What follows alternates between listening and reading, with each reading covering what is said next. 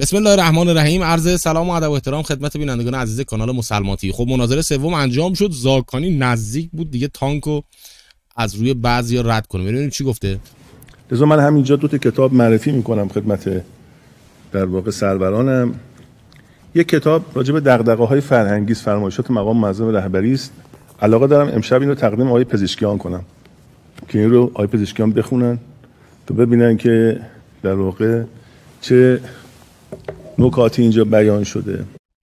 آقای پزشکیان خیلی میگه من برنامه هفتم رو که با منویات رهبر معظم انقلاب همخوانی داره می‌خوام ببرم جلو اینها.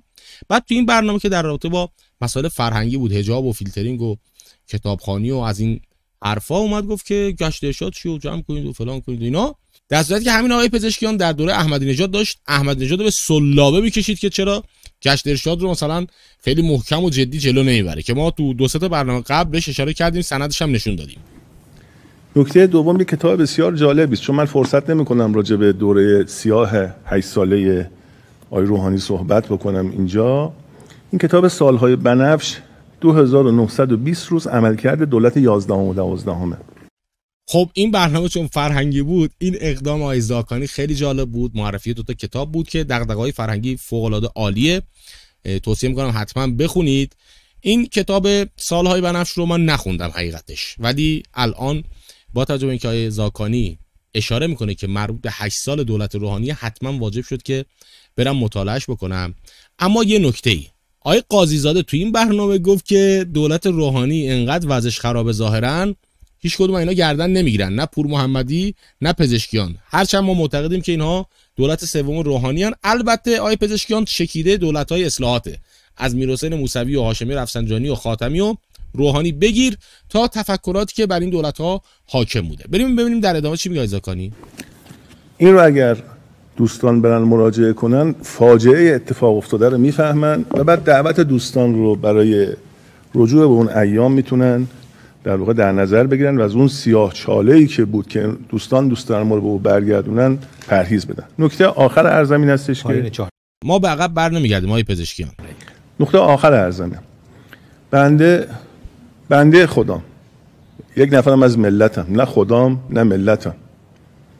اما این که دوران گذشته که کسی عکس ما رو بکشه و در واقع کلمه مار رو در جامعه تصویر بده گذشته مردم آگاه هم مردم بصیرت دارن. مردم که کلا سرشون نمیره که اینجا ما بیایم فقط معترض معترض معترض. این درست نیست. مردم ما باسوادن با بصیرتن. توهین به بصیرت مردم و سواد مردم نکنیم.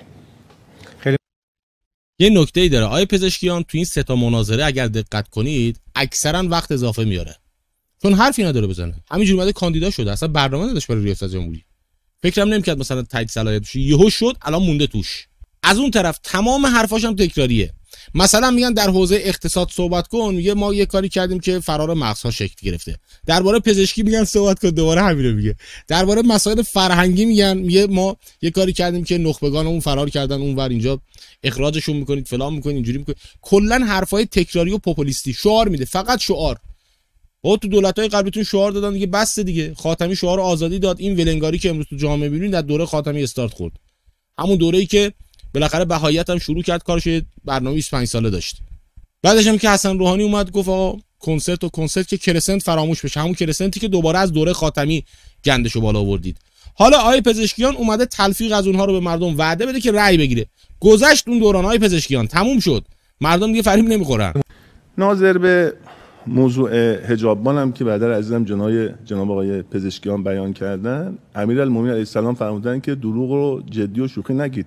خواستید شوخی کنید با بنده یا جدی گفتید؟ اگه جدی گفتید دروغه. توبه کنید.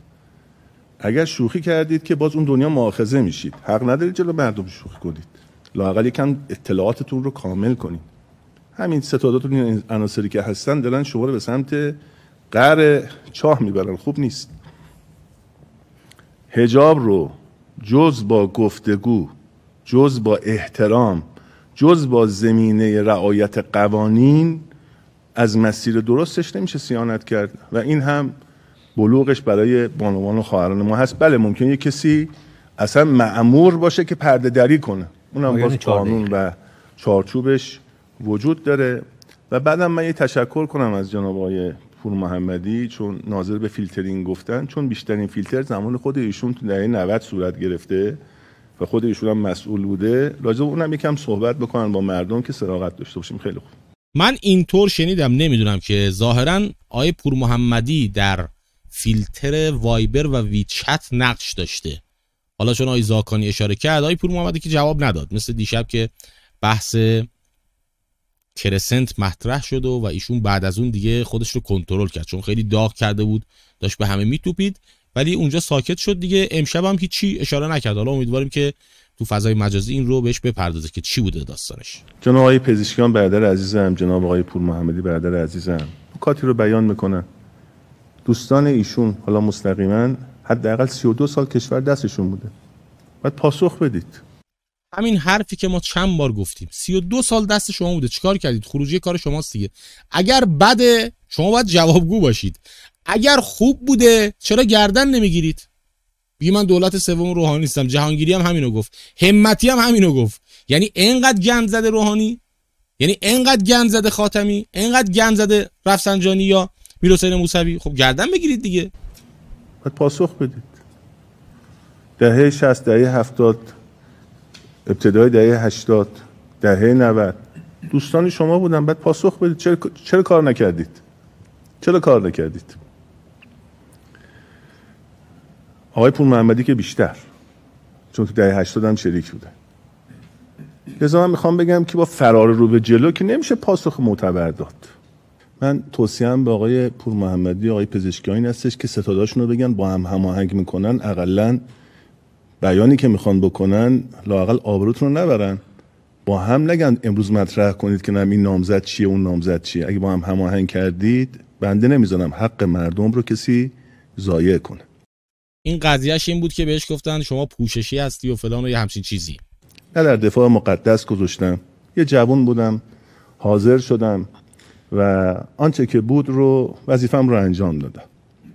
نه در دوره دانشجویی گذاشتم کسی حق مردم رو بخوره. موقعی که دولت وقت میخواستش سیاست زدگی رو در دانشگاه دنبال کنه دنبال کردیم با دوستان دانشجو نه در مجلس گذاشتم کسی جیه مردم رو بزنه توزیع فساد اقتصادی.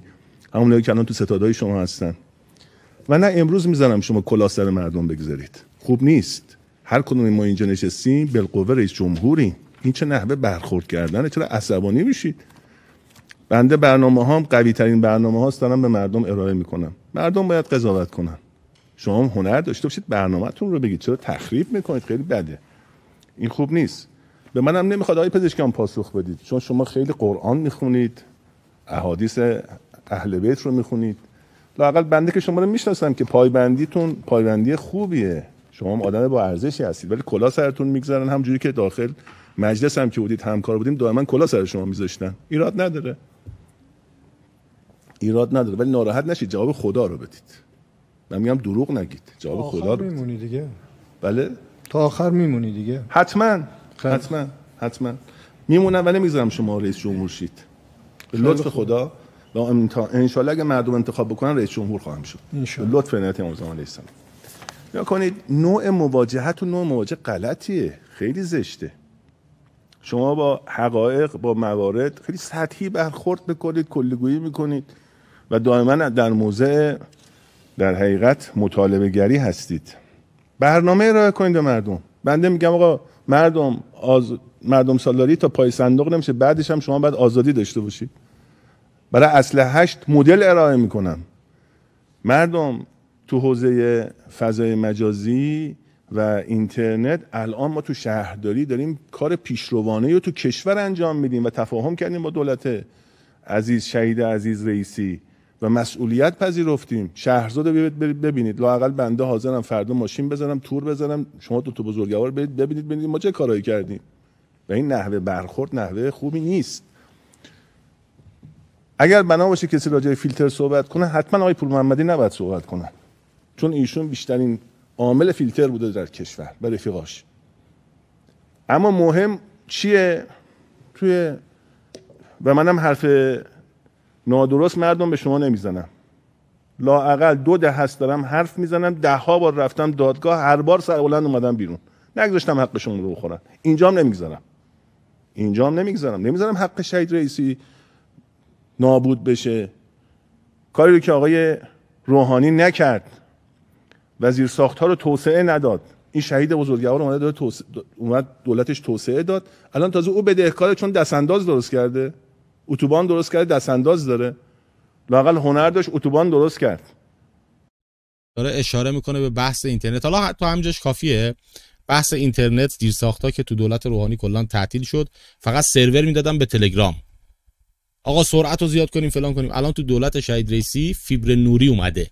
بین 60 تا 75 درصدش هم انجام شده. تو مناطق دوردست کشورم هست. تو روستا هم داره این اینترنت میره.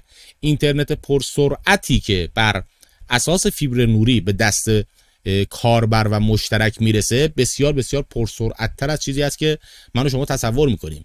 ما مثلا با اینترنت موبایل که وارد فضای مجازی میشیم کیف می‌کنیم. میگیم عجب سرعتی وای فای چی بود خودمون رو سر کار گذاشته بودیم. وای فای خونگی ADSL و اینها منظورم ها. الان که فیبر نوری اومده اصلا عجیب غریبه. شما خندت می‌گیره میگی اه اینترنت موبایل اینقدر مثلا سرعت داشت. این اینقدر. خب این کارهایی که شده اما آیه پور محمدی و آقای پزشکیان تو این برنامه داشتن تخته می‌کردن این رو. حالا چهار نامزده دیگه دفاع کردن حمایت کردن. تعریف و تمجید که بابا این کار کار خوبیه. اینترنت ملی پرسرعت امن هزینهش کمتره سرعتش بالاتره. اما این آقایون که کلا سیاه نمایی می‌کنن در حال تخریب بودن که آقای زاکانی به موقع وارد شد احساس می‌کنن که این بحث های چالشی واقعا لازمه. دیشبم عرض کردم تو برنامه قبلی هم گفتم مناظره یعنی دو طرف مقابل هم بشینن همدیگه رو به چالش بکشن. این که آقای پزشکیان بیاد بشینه اونجا تماما سیاه نمایی کنه به این بهانه که آقا کسی کار نکرده من می‌خوام بیام کاری کنم. حرفای عوام پسند بزنه. خب بله عوام مردم حتی اون بچه ده دوازده ساله هم این مشکلات رو می‌دونه. آقای پزشکیان شما هنر نمی‌کنی که بیان مشکلات می‌کنی. هنر اینه که راهکار رفع اون مشکلات رو بدی. وگرنه عمه منم بلده بیاد مشکلات رو ردیف کنه یک دو سه چهار تا هزار بشماره. این که برای این مشکلات چه برنامه داره مهمه که ظاهرا شما برنامه نداری. همینجوری عشقی اومدی رأی بگیری. چون دیشبم تو مناظره گفتی گفتی اونایی که میان تو ستاد من مهم نیست کی باشن. من می‌خوام رأی بگیرم.